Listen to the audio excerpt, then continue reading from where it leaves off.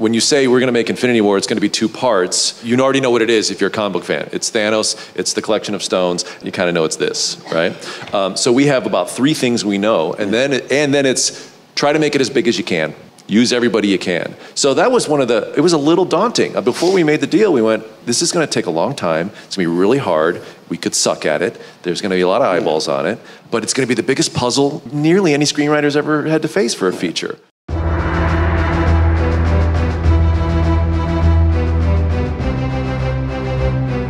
Because I grew up reading The Avengers where they all were on a team together. And it never occurred to me until much later in life that they did not belong on a team together. It makes it much harder on some levels because of the X Men. It's like, look, we all have the same problem, we all have the same metaphor, and we all have the same outfits. With the Avengers, they are very deliberately different. With the first one, I said, look, I love superhero movies. This is the dream of a lifetime. I want to make a war movie.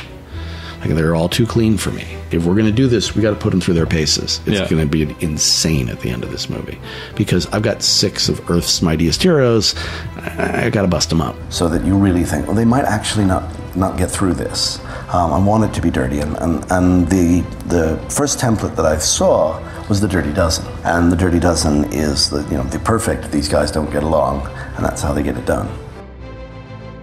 Yeah, apparently I'm volatile, self obsessed, don't play well with others. That I did know. We've never written a Captain America movie. We've only ever written for Steve Rogers Okay. and for Tony Stark and for all the other people inside the shells. If you're writing for the red, white, and blue man, you're only going to write a patriotic story because that's all he is on the outside. But Steve is this 90 pound guy from 1943 who's been frozen in ice and had his friend killed in front of him and, and is material for much more interesting stories than Captain America is. The idea was to bring together a group of remarkable people, see if they could become something more.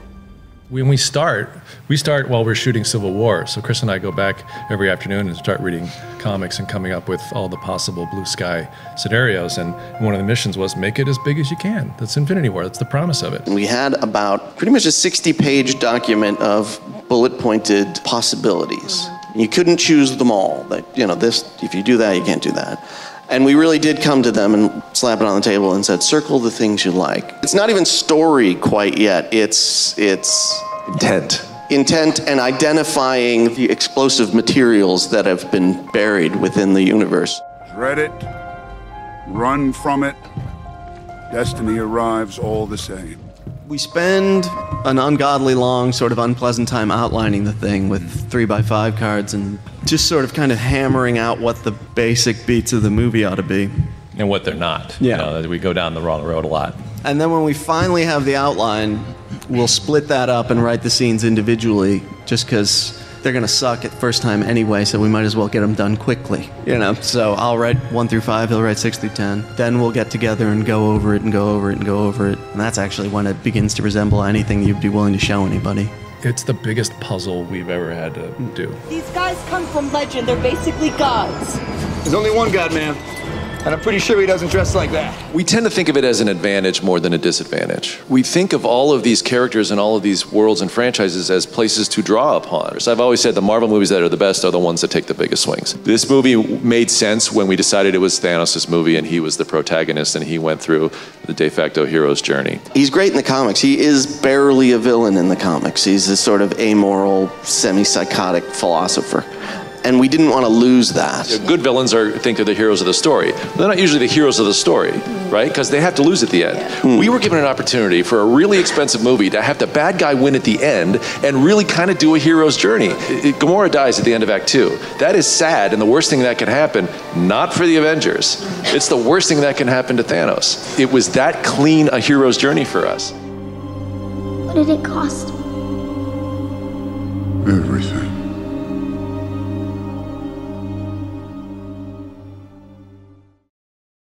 Come up with story first, and then, you know, try to see how how it's going to affect the, the characters, and not try to wedge the characters in prior to the story coming to them. And I mean, especially with something like Infinity War, where we knew basically the focus was going to be traveling as Thanos is going around getting stones. We realized pretty early on that it wouldn't be a case of let's check in with everybody and see them before before the story gets there, because that can get tricky sometimes because you think, oh, everybody's going to want to know what Captain America's been up to. Turns out, no. Like, because, you know, you come to the movie for the story. If it's not the story, that's when you get bored. We're the Avengers. We can bust arms dealers all the live long day, but that up there, that's that's the end game. The trick is understanding the problem. If you are writing genre, you already have a place you know you're going. They're going to sing, they're going to fight, there's going to be horror, there's going to be something that you've got to get to. There's signposts along the way. Not many screenplays just burst out of your head with an act three already. But when they have one and you know where you're going, and we sort of did with Avengers, then it's just a question of knowing exactly what it is you have to do. You sort of have to go, okay, if I can't figure this out, then I know exactly what else I could be figuring out. Besides this one, there's nothing that can't be explained. I have always believed that you have to be directing when you're writing, and not just directing for yourself, um, but for the reader. I want every script to read the way it's going to be seen. And that doesn't mean that I'm describing every single thing. It just means that for the actors, when I hear something, I need to know that an actor is going to look at that and go, yeah, that is the next thing I would say. The idea behind Marvel is that it's not working in lockstep.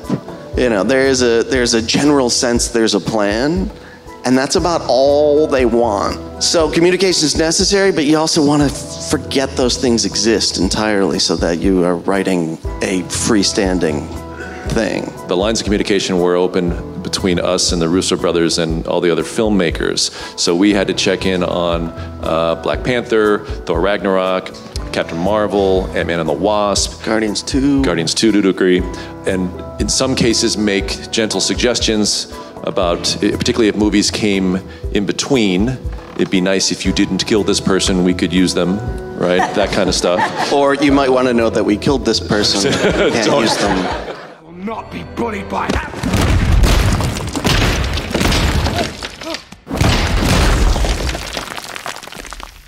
Puny God. You can embrace the comedy, you can embrace the character that came before, but you always want to move them forward to some degree. Yeah. It is like driving a, a giant cruise ship. You know, you just can't turn it around or stop it. Let's not be embarrassed that we're making a comic book movie. Let's remember that this comes from a place that gave all of us a certain level of joy at a certain point. Let's not make the dark, gritty version let's kill every puppy we can find. It's still gonna be fun.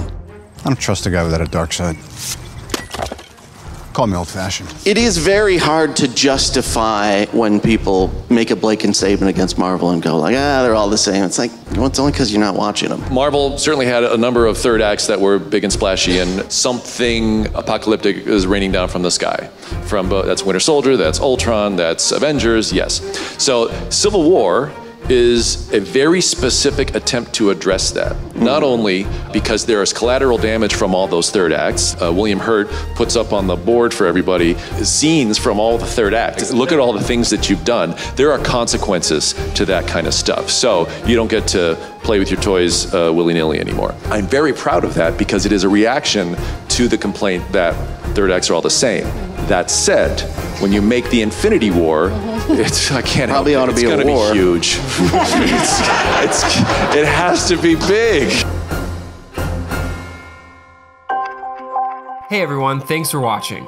Uh, it's been about two weeks since launching this channel, and I am honestly blown away by the response. Thank you so much for watching the videos and subscribing. Um, we are closing in on 2,000 subscribers, which is absolutely insane. And if you're new to the channel and you want to learn more about your favorite TV shows and films and how they were created, go ahead and hit the subscribe button, and we will be making more videos shortly. I also wanted to remind everyone that if you want to take a deep dive into some of these interviews like I have, um, I'm including the link to a lot of the full interviews down in the description bar. Uh, so go crazy with that, and uh, I'll see you on the other side. And as always, I'll see you guys next week as we take another look behind the curtain.